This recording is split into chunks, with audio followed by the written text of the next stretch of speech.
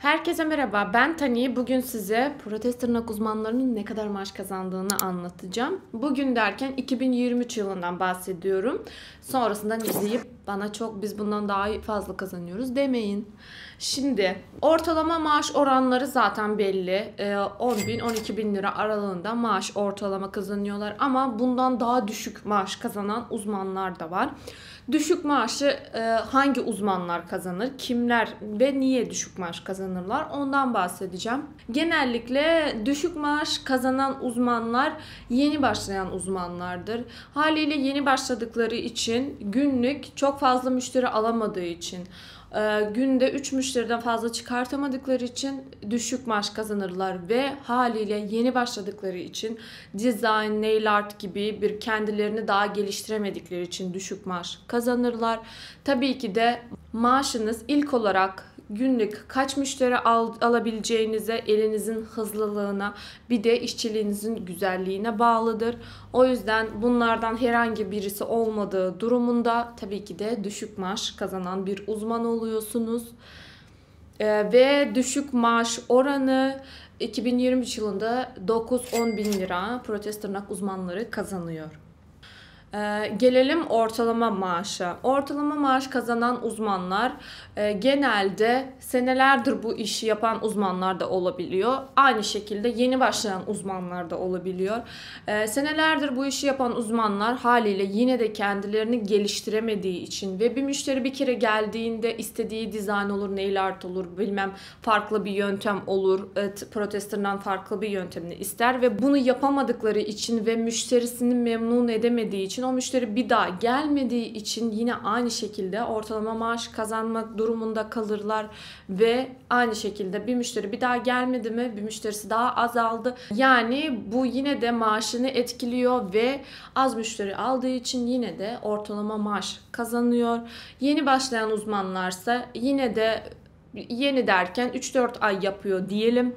3-4 ay yapmasına rağmen çok iyi bir işçiliği varsa da bu sefer eli hızlı olmadığı için ortalama maaş kazanıyorlar.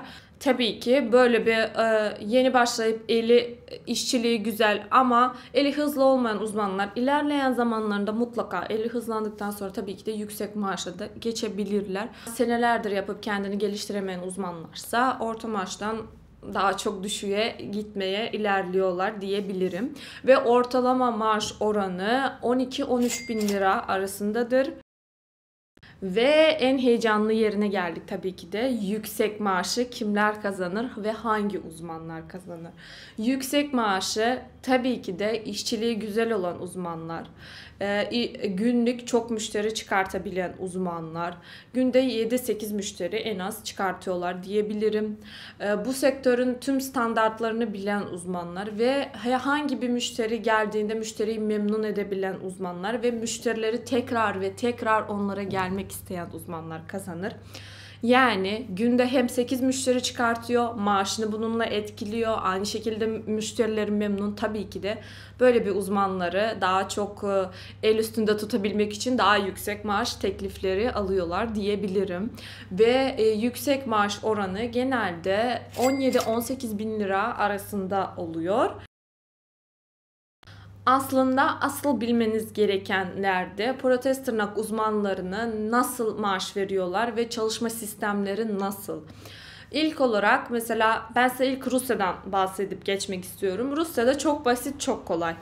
Uzmansanız, iyisiniz, geliyorsunuz, çalıştığınız işlemin %50'sini alıyorsunuz. Yani %50 sizin, hiçbir şeyini de siz almıyorsunuz. Ama %50'si de patronlarınızın çünkü her şeyinizi size verdikleri için. Türkiye'de ise sistemler biraz daha değişik. Çünkü Türkiye'de malzemeler çok daha pahalı olduğu için %50 %50 çalışamıyorlar. Bu çok zor oluyor. Tabi böyle bir şeyler yapan yerler de var ama onlara daha sonra geleyim. Türkiye'de ilk olarak e, en kolay marş sisteminden bahsedip geçeyim protez tırnak uzmanları için. Size belli bir miktar maaş belirliyorlar ve siz ne kadar müşteri alsanız da almasanız da aynı maaş kazanıyorsunuz ve tabii ki de o maaş e, normal maaşa göre çok daha düşük kalıyor. Ve Türkiye'de en çok kullanılan sistemden size bahsedeyim. Size belirli bir maaş miktarı belirliyorlar. O maaş diyelim ki askeri ücret. Askeri ücretin artı sizin yaptığınız işleme yani bir ayda toplam yaptığınız cirodan bunu size kimse söylemez ben söyleyeyim e, prim veriyorlar. Yani bir ayda 50 bin lira atıyorum ciro yaptınız. 50 bin liradan %10'unu size prim olarak veriyorlar. Yani artı 5 bin lira 50 bin lira yaptınız 5 bin lirada priminiz ve askeri ücret maaşınız ve artı yemek paranızı veriyorlar. En çok kullanılan yöntem ve en çok bu yöntemle çalışan uzmanlar daha iyi bir e, yüksek maaşı kazanıyor diyebilirim. Şimdi de %50'li %50 sizin %50 patronun çalışma sistemine geleyim. Türkiye'de bu biraz zor ve genelde ya uzmanlar %40'ını kazanıyor, e, işveren %60'ını kazanıyor. Bu şekilde kazanabiliyorsunuz. Ya da %50 çalışmak istiyorsanız malzemelerin yarısını kendiniz satın alıyorsunuz. O şekilde %50 kazanabiliyorsunuz ve bu çok biraz daha zor oluyor. O yüzden dediğim gibi Türkiye'de en mantıklı sistemse maaş artı %10 primle çalışmanız ve tabii ki de artı yemek parası. Niye derseniz şimdi size sadece maaş verirlerse Tabii ki siz sadece maaşla çalıştığınız için kendinizi geliştirmezsiniz ve aynı yerde kaldığınız yerden devam edersiniz. Ama size hem maaş hem artı prim verirlerse daha çok iş yapmak istersiniz. Daha kendinizi geliştirmek istediğiniz için daha da yüksek maaşa doğru ilerleyebilirsiniz. Sizin için e, maaş artı prim sisteminde çalışmanın bir avantajlı tarafı daha var. Tabii ki daha çok çalıştığınız için daha çok maaş alacağınız için güzellik merkezlerinde diğer iş işlemleri de öğrenebilirsiniz. Diyelim ki protez tırnakta kendinizi yeterince geliştirdiniz ve çok iyi bir uzmansınız ve sadece tırnak müşterisi gelecek mi diye bekleyeceğinize diğer işlemlerde de kendinize bir şeyler öğrenebilirsiniz ve tabii ki de bu sizin için bir avantaj daha olur. Ee, atıyorum e, protez tırnak uzmanısınız ama orada bir e, ipek kirpik bilmem bir cilt bakımı bir kirpik lifting ya da ayak bakımı gibi bir işlemleri öğrenebilirsiniz ve mutlaka size gelen bir müşterinin bunlardan herhangi bir, birisine daha da ihtiyacı olabilir. Tabii ki de bunları da müşterinize anlatarak o işlemlere de devam edebilirsiniz. Yani bir müşteriyle bir günü kapatma gibi bir imkanınız olur ve kendiniz de bunların sayesinde daha çok maaş kazanırsınız. O yüzden önerim kendinizi yeterince geliştirmeniz ve daha hızlı bir işlem çıkartmaya çalışmanız artı tabii ki de ek bir işlem kendinizde öğrenebilirsiniz. Şimdi de içinizde ben protez tırnak uzmanı olmak istiyorum diyenler mutlaka vardır ve e, protez tırnak uzmanı olacağım. Nasıl yüksek maaşa çabuk hızlı bir şekilde ulaşırım da diyorsunuz. Nasıl ulaşabilirsiniz yüksek maaşa? Çok hızlı bir şekilde bunu anlatayım. Ee, mesela yeni başladınız ama hangi markalarla çalıştığınız bu işte çok önemlidir. Şimdi siz e, olmayan, iyi olmayan bir markayla çalışırsınız. Kendinizi geliştirmeniz çok uzun sürer. Hatta sürmeye edebilir ve bir yerlerde tıkanıp kalırsınız. O yüzden ilk olarak da kullandığınız markalar iyi bir markalar olması çok önemlidir.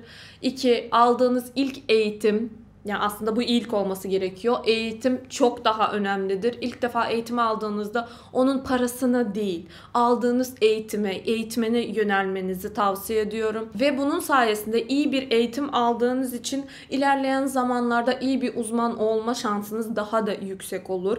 Ve bir kere eğitim aldım, bu bana yeter diye bırakırsanız tabii ki de yine de ilk başa dönüyorsunuz yine de düşük maaş kazanırsınız. Hep kendinizi geliştirin. Tırnak sektörü çok gelişen bir şimdiki zamanda çok gelişen bir sektör ve e, senede bir iki yeni bir sistemler, yeni dizaynlar, yeni nail artlar gibi bir ilerlemeler oluyor. Yani kendinizi geliştirmek, ek ek ek kendinize eğitim almak sizin daha da hızlı bir şekilde yüksek maaşa ulaşmanıza yardımcı olur.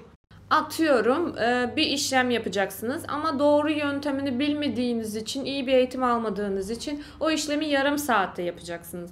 Ama doğru yöntemini, kolay yöntemini bilirseniz tabii ki de 15 dakikada yapabilirsiniz. Ve bu bir güne çarparsanız e, yarı yarıya indiriyor ve normalde 4 müşteri alıyorsanız bu sefer 8 müşteri alma avantajınız oluyor ve bu daha hızlı bir şekilde yüksek maaşa ilerlemenize yardımcı oluyor. Yani asıl anlatmak istediğim şey yüksek maaşa ulaşmak için ilk olarak iyi bir eğitim. 2. iyi bir kaliteli malzeme kullanmanız. 3. Elinizin hızlı olması. 4. Ve bunlara rağmen çok güzel bir işçilik çıkartabilmeniz. Gelelim zirvedeki uzmanlara. Bu uzmanlar tabii ki de benim söylediğim maaş oranından çok daha yüksek maaş kazanan uzmanlar. Ve sadece uzman olarak kalmayıp artık kendilerini eğitmenliğe kadar geliştirmiş uzmanlar ve bir tek bununla da kendilerini bırakmayıp daha da e, güzellik merkezleri, kendi güzellik merkezlerini açan uzmanlar ve bunların tabii ki de aylık geliri normal e, güzellik uzmanlarından çok çok daha yüksek ve sadece eğitmenlik yapan uzmanların aylık geliri ortalama 30-40 bin liradır. Bugünlük benden bu kadar. Umarım anlatabilmişimdir. Tabii ki de anlatamadığım yerler de vardır. Belki kafanıza takılan sorular da olabilir.